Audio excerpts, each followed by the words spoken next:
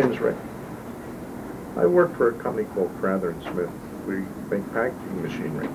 Well, I, I work in assembly and I work also in the uh, stock area. I see that the vendors get all their proper stock, certain grades of steel, and uh, make sure that it goes to the machining department, so on and so forth. I'm originally from Round Pack Circle in the Northeast, and I went to the emergency room of Nazareth Hospital. I was in a coronary state, in a coronary situation, pending a coronary situation, when I went into the hospital. But while I was being treated in the emergency ward for this angina pain and the elevation of my blood pressure, I was dozing because of all the medication, and they realized I stopped breathing while I was sleeping. And this alerted some of the hospital staff.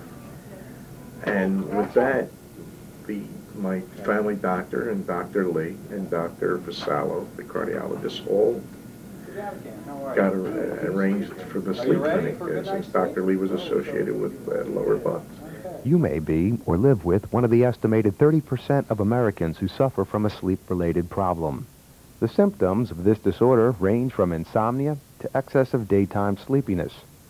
These symptoms may not always be obvious. Now, in your case, it was actually your wife who first noted symptoms, wasn't it? Definitely. My wife, uh, through intense reading in different situations and uh, viewing uh, TV documentaries, started putting a pattern of my sleep habits and my uh, other problems that were focusing in our marriage, okay? And she suggested, gee, I'd better see a doctor and talk about Rick, I think you got a problem with sleep. Someone working at the hectic pace of today's modern lifestyle might not think they suffered from a physical problem. The fact is, when people suffer from a sleep-related medical problem, they might not realize it. In the beginning, I was as naive as everybody else. My wife said, I have a problem. I'm driving a car and I'm falling asleep. Can you imagine falling asleep? I got five children and my wife in a car and I'm falling asleep and I'm, I'm arguing with her, I'm not asleep. The symptoms are often perplexing and may be signals of a much more serious medical problem.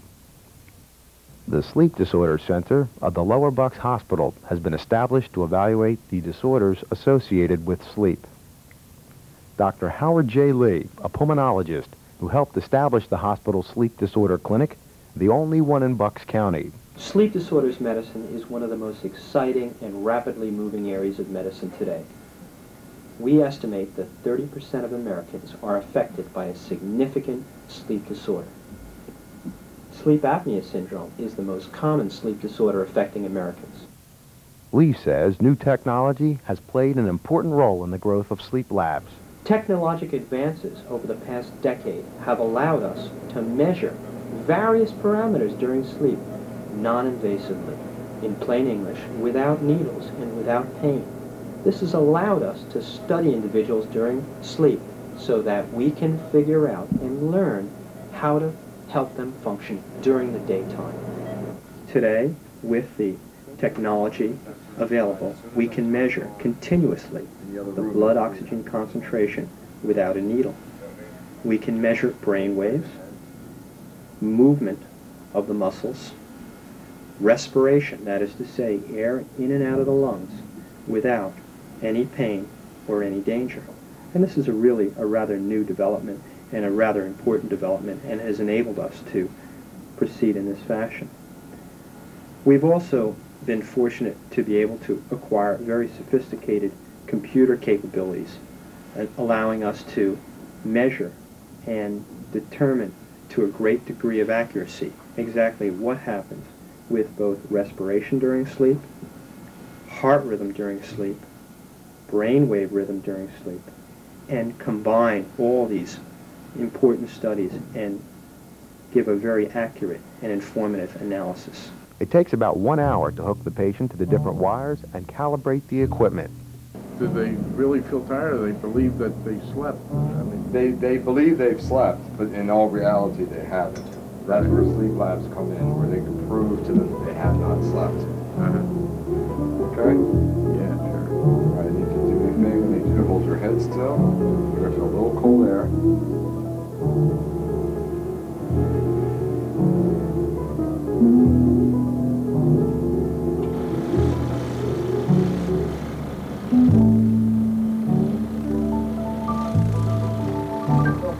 Mm-hmm.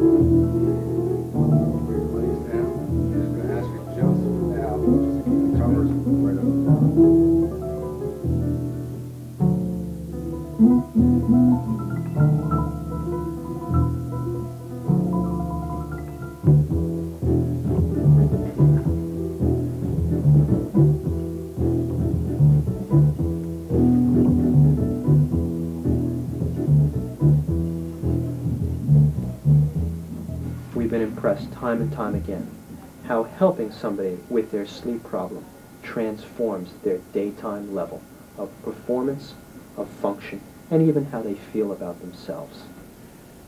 Rick, you were diagnosed several months ago as having sleep apnea, and at that time you were treated with a nasal CPAP, continuous positive airway pressure mask. What effect, if any, has that treatment had on your life? Well, just the, just the fact that I can get a full night's sleep and wake up rested, what I thought was normal before is nothing to what I compares today. I don't wake up with, with a headachy uh, situation. I don't wake up to where uh, I, I have to, you know, wake myself up hard. I mean, I, I get up, I feel pretty well rested. And mostly, I can go all day long without feeling tired until, you know, this natural order of sleep starts to take place uh, later in the evening and not fall asleep at 2 o'clock, 3 o'clock in the afternoon. I'll tell you something very funny. 18 years my wife and I have been married, and it was the first vacation we took where I didn't fall asleep during the day. So she was more than happy about the fact that I had all this extra energy. And it does make a difference by getting the oxygen uh, to my system. Uh, at least for me it has, and I'm sure it will other people. By understanding the sleepy nature of their disorders, affected patients can adjust their lifestyles to maximize their daily alertness and lead as full a life as possible. The modern study of sleep brings a new dimension to diagnosing and treating disease. The subtle influence that sleep disorders have on personality, chronic diseases, and the effect that it has on students in school, as well as workers on a job, is at last understood through state-of-the-art sleep studies. The Sleep Disorder Center at Lower Bucks Hospital is now able to precisely diagnose the psychological, the physical, the medical, and the emotional ramifications of inappropriate sleep patterns. Physicians who specialize in a variety of medical disciplines are finding that sleep studies offer deep insights into complex and elusive problems, problems that have caused great and intense suffering, but in many cases, the treatment is quite simple. Many patients have been helped, and today, because of advances in both technology and medical science, many people are leading much happier and healthier lives.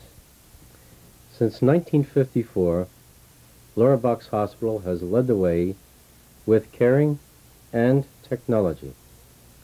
The Department of Medicine is proud of the many medical advances we have made here at Lower Bucks Hospital, and the Sleep Disorder Center is one of them.